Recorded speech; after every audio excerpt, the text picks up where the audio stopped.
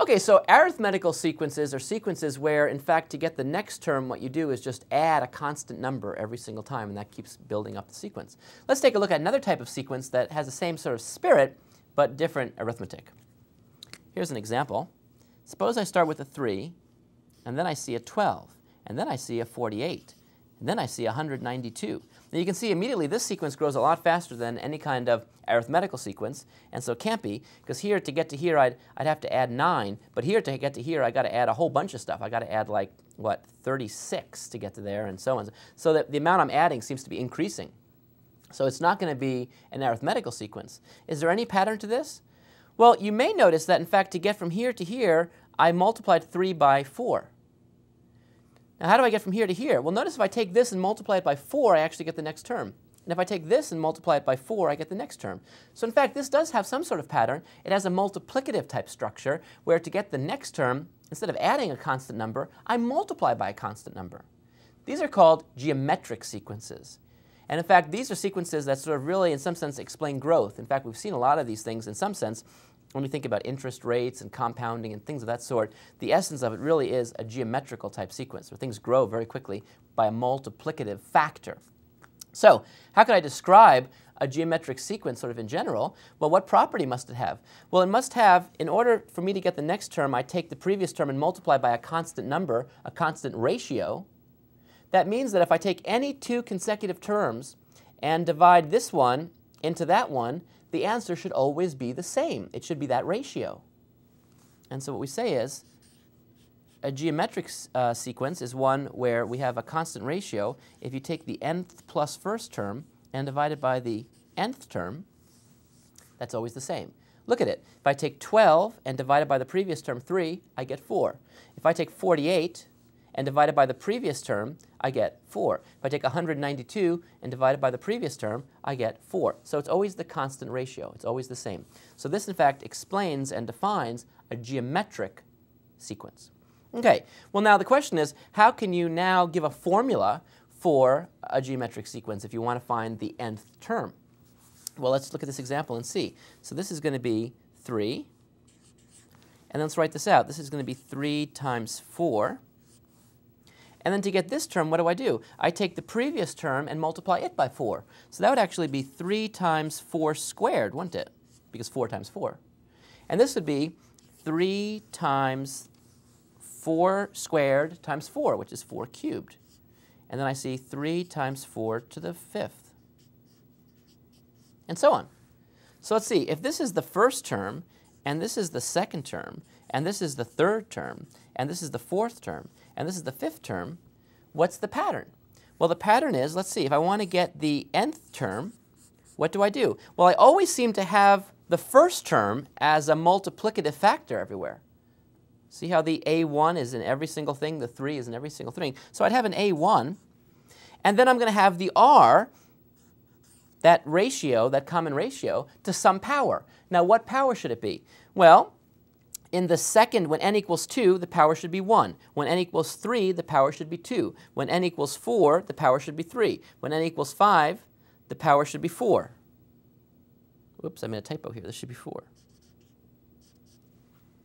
So what's the pattern? Well, the pattern is if I'm at n, the power should be 1 less than n. In each case, 4, and I'm at 3. 3, I want exponent of 2, and so on. So it should be n minus 1. So there's actually a formula that will generate the nth term in a geometric sequence, starting with a1 and having that common ratio r. So you can actually find any sequence you want. For example, for example, suppose that I tell you that I'm thinking of a geometric sequence, its first term equals 4, and its second term equals 20. Can you tell me what the fourth term is going to be? Well, to find the fourth term, I've got to find that ratio because I already know A1, but I need to find that ratio. How could I do that? Well, if I plug this in to this formula, what would that give me? Well, that would tell me the following. It would tell me that A2, A2, which I'm told is 20, so 20 would have to equal A1, which I know is 4, times this mysterious ratio, which I have no idea what that is, but raised to what power? Well, now I raise it to the n, which is 2 minus 1. 2 minus 1 is just 1. So I can now actually solve this for r. If 20 equals 4r, then I know that r must equal 5.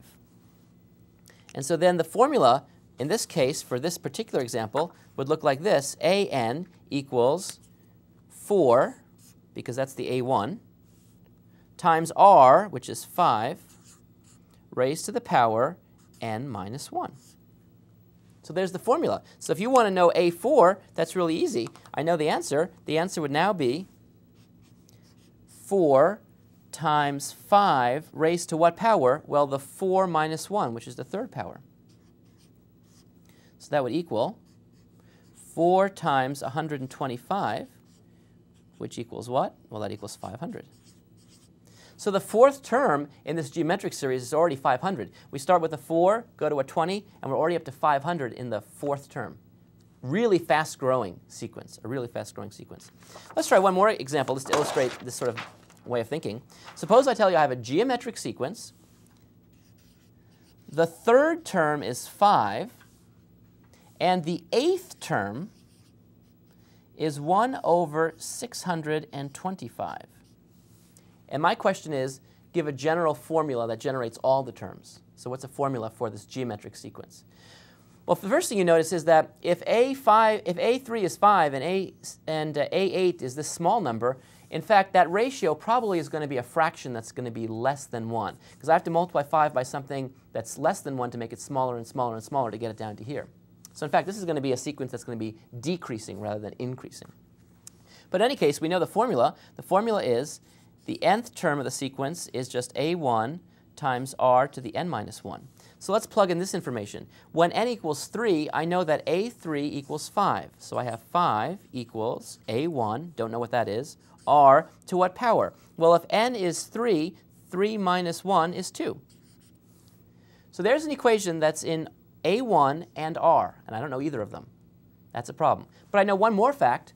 I know that when n equals 8, this number is 1 over 165. I mean, it's 100, uh, I'm sorry, what am I saying? 625. And what does that equal? Well, it equals a1 times r to what power? Well, if n equals 8, then this would be n minus 1, which is 7. Well, look what I have. I have two equations in two unknowns. I can solve this again. Now, it's not linear. It's not linear because I have exponents. So you can't use any sort of matrix stuff now. But what I'll do is I'll use the substitution method. In fact, what I'll do is I'll take this and solve it for a1 and substitute that value in here. If I solve this for a1, what I see is a1 equals 5 divided by r squared. And if I now take that and plug that in for the a1 here, because that equals a1, then what do I see? I see 1 over 625 equals, now instead of a1, I'm putting in 5 divided by r squared. So I see 5 divided by r squared, and then I multiply it by r to the seventh. So I can actually cancel. Um, I have two r's down here. I have seven r's up here. So if I cancel, I'll be left with r to the fifth.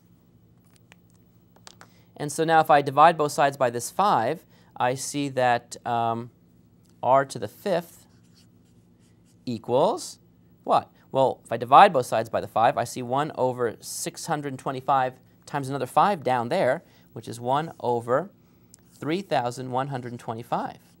Well, you can take fifth roots of both sides and see that, in fact, r has to be 1 fifth. That is, if you take 1 fifth and multiply it by itself five times, you actually get 1 over 3,125. You can check that. So there's r, there's that constant ratio. What's a1? Well, I could find a1 by just plugging back into here. So a1 would equal 5 divided by uh, r squared. So that would be 1 fifth squared. Well, 1 fifth squared is actually 20, is 1 over 25. But that's a complex fraction, so I invert and multiply. Whoop, so I get the 25 on top. So I see 5 times 25, which is 125. So that's the first term, and every successive term, I take the next term and I multiply it by a fifth, take that answer, multiply it by fifth, and so on. So the general formula I can now report is AN equals 125 times 1 fifth to the n minus 1. And that will generate now every single term in this geometric sequence. If you want to know the 27th term, you just plug in n equals 27, and I see 125 times 1 fifth raised to the power 26, 27 minus 1. So again, just like with arithmetical sequences, geometric sequences, you can always find out exactly the whole sequence just knowing two pieces of information. Either the first term and that common ratio, or just two terms in the sequence, and you can then solve by getting two equations and two unknowns for r and the first term. Geometric sequences. Gotta love them. See you soon.